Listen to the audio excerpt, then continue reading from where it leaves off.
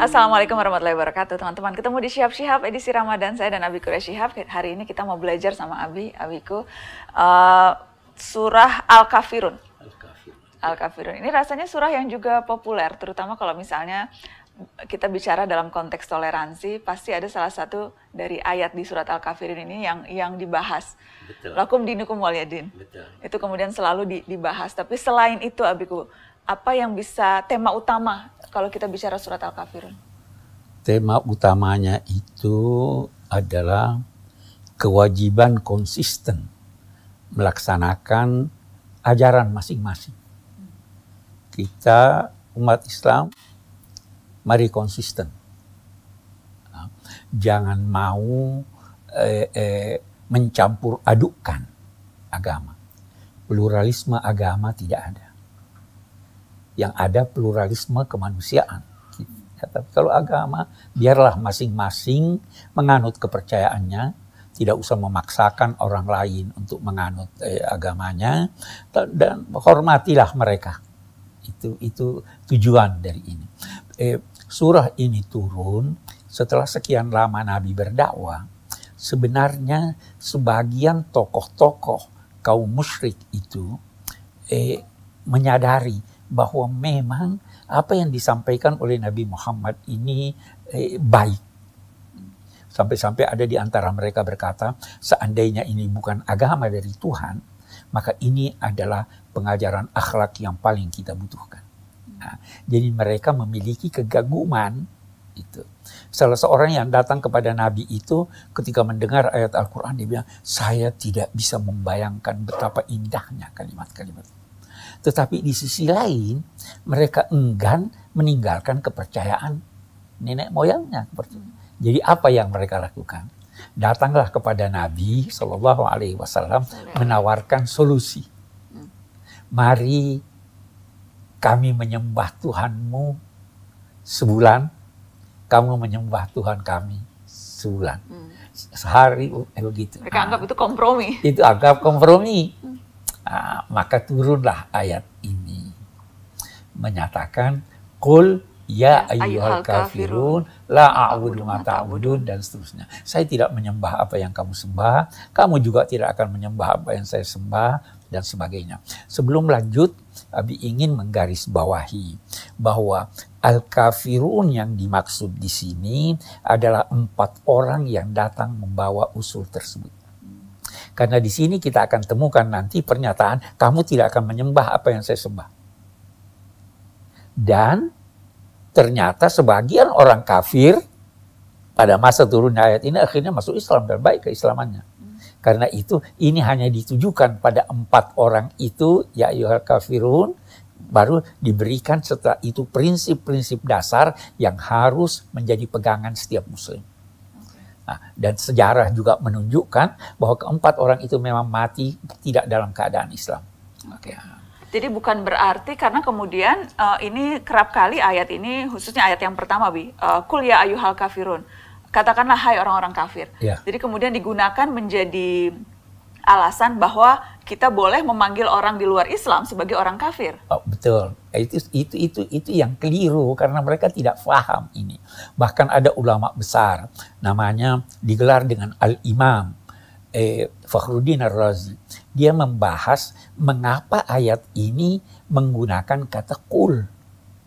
Sebenarnya kalau Abi misalkan berkata pada Nana begini, Nan sampaikan sama adikmu, Abi tidak bisa datang hari ini untuk menyampaikannya kan tidak perlu mengulangi. Katakanlah sampaikan. Begitu juga mestinya Nabi itu langsung aja eh la a'budu ma ta'budun. Tidak perlu ada pakai kul ya, ya ayyuhal kafirun. Nah, mengapa begitu? Imam besar ini mengatakan begini. Sebenarnya ajaran yang diterima Nabi Muhammad itu adalah ajaran yang sangat toleran bahkan eh, tidak menyapa orang-orang musyrik yang berbeda agama itu dengan sapaan yang menyakitkan hati mereka. Bahkan Abi mau tambahkan, terkadang ada ayat yang seakan-akan eh, berpihak lebih baik terhadap mereka daripada terhadap kita. Abi ambil contoh. Qul inna au iyyakum la'ala hudan au fi dhalalin mubin. Katakanlah wahai Muhammad, boleh jadi kami yang benar, boleh jadi kami yang salah. Boleh jadi kami yang salah, boleh jadi kami yang benar. Kul, katakanlah, Tuhan yang akan menghimpun kita kelak di hari kemudian, kemudian kalian tidak akan diminta mempertanggungjawabkan dosa-dosa kami, kami tidak diminta mempertanggungjawabkan apa yang kamu kerjakan. Coba kita lihat, kita tidak berkata pada mereka dosa-dosa kamu. Nah, itu dosa-dosa merujuk pada kita. Kita apa yang mereka lakukan, apa yang mereka lakukan. lakukan. Tidak Jadi, langsung kita judge bahwa itu dosa. dosa. Nah, begitu. Jadi sewaktu turun ya ayyuhal kafirun, Nabi boleh jadi merasa ini kok beda dengan yang lain. Saya selama ini disuruh eh, mengucapkan kata-kata yang halus, tidak mencerca bagaimana. Maka turunlah kul. Katakanlah bahwa yang menyuruh saya ini Tuhan. Tuhan yang maha mengetahui hati setiap orang dan maha mengetahui apa dia kufur kekufuran yang membawa kematiannya atau tidak. Bukan kamu. Kamu jangan berkata ayuhal kafirun. Ya toh? Hmm. Jangan berkata ayuhal kafirun. Bahkan Nabi pun dilarang, dilarang. untuk apa menggunakan kata kafir pada ya, orang-orang yang walaupun belum... sebenarnya substansi amalan mereka kekufuran, hmm. tetapi kata kafir itu digunakan oleh Al-Quran untuk siapa pun yang menutup kebenaran atau yang digunakan untuk sesuatu yang menggambarkan keburukan. Hmm. Jangan ucapkan buruk kepadanya apalagi menghukum seorang bahwa kafir. Boleh jadi dia nanti masuk Islam lebih baik Islamnya dari Anda yang ya. Nah, jadi itu sebabnya ada kata kul. Itu salah satu sebab kenapa ada. Ya ayyuhal kafirun. La a'budu ma ta'budun. Saya tidak menyembah apa yang kamu sembah. Ibadah itu apa? Ibadah itu adalah ketundukan maksimal terhadap sesuatu yang tidak diketahui hakikatnya.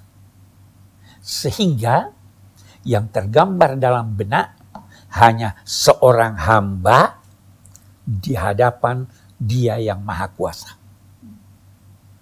Karena itu eh, seorang yang tunduk pada raja, penguasa, tidak dinamai beribadah kepadanya.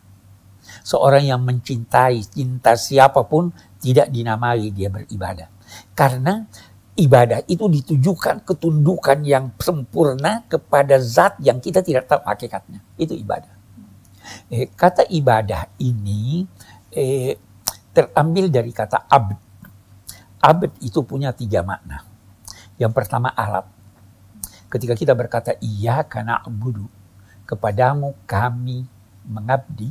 Kepadamu kami menjadikan diri kami abdi. Kami ini alatmu. Kamu apakan aja kami terima eh, eh, eh, semua orang punya tugas. Tuhan memberikan dia tugas-tugas yang dia harus laksanakan. Kita abdi. Abdi negara itu alat negara. Oke.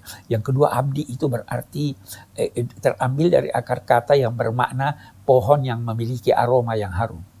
Kalau Anda menjadi abdi, abdi negara atau abdi siapa pun harus memberikan aroma yang harum pada lingkungan Anda. Nah, abdi itu adalah hamba sahaya. Yang ketiga ini. Itu hamba sahaya itu tidak memiliki apa-apa. Kalau dia mau bertindak, mau melangkah harus seizin Tuhannya. Karena itu jangan melangkah kecuali berkata insya Allah kalau diizinkan Tuhan. Itu artinya Allah a'budu ma ta'budun. Hmm. Tidak, aku tidak mengabdi apa yang kamu sembah. Nah. Oke, okay. Abiku, bahwa kemudian eh, ayat-ayat uh, ini diakhiri dengan uh, bagi kamu agama kamu, bagiku agamaku. Okay. Allah tidak ingin memaksa seseorang memeluk Islam. Wa ma umiru illa liya'budullaha mukhlishina lahuddin. Mereka itu tidak diperintahkan kecuali menyembah Allah secara tulus. Karena itu kalau dia tidak percaya Tuhan, lantas mau menyembah Allah, tidak usah. Ya toh? Harus tulus Jangan dipaksa, jangan diiming-iming. Silahkan lakukan apa yang kamu anggap benar, kalau itu agamamu, dan biarkan saya juga melakukan apa yang saya anggap benar dan itu agamaku. Mari kita berjalan berdampingan tanpa bermusuhan dan tanpa saling mengganggu. Itu simpulan dari surat Al-Kafirun ini. Oke. Terima kasih Abiku. Terima kasih sudah menyaksikan teman-teman. Insya Allah bermanfaat untuk kita semua. Assalamualaikum.